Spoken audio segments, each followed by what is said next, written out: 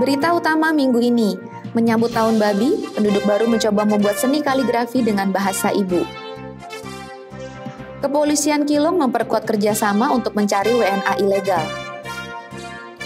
Kantor polisi Kaohsiung mendesain kartu bahasa untuk membantu para migran.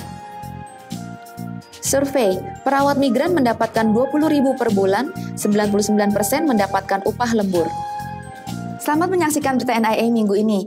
Kementerian Tenaga Kerja Taiwan MOL mengumumkan hasil survei manajemen dan pemanfaatan pekerja asing pada 7 Januari 2019 adalah rata-rata total gaji pekerja migran di Taiwan sebesar 27.788 NT dolar dan gaji rata-rata perawat asing sebesar 19.927 NT dolar.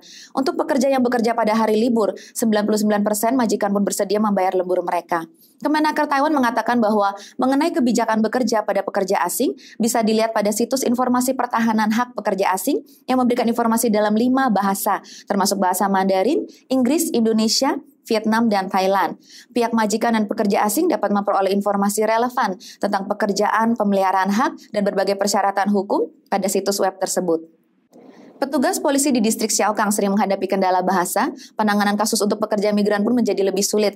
Karena itu Kepala Kantor Polisi Tallinn, Utingyen secara khusus merancang kartu peta bahasa untuk mempermudah penanganan berbagai kasus. Melalui internet, Utingyen mencari beberapa salam dalam bahasa Indonesia, Thailand, dan Vietnam untuk mengajar rekan-rekannya. Dia mengatakan bahwa meskipun dia tidak mahir dalam bahasa-bahasa tersebut, tetapi jika dapat menggunakan salam sederhana akan membuat para pekerja migran merasakan kehangatan. Kantor polisi cabang Xiaokang tersebut juga berencana untuk mengadakan interaksi bahasa setiap bulannya agar para petugas polisi lebih lancar dalam penanganan kasus para migran dan di sisi lain menunjukkan sisi ramah pihak kepolisian Taiwan.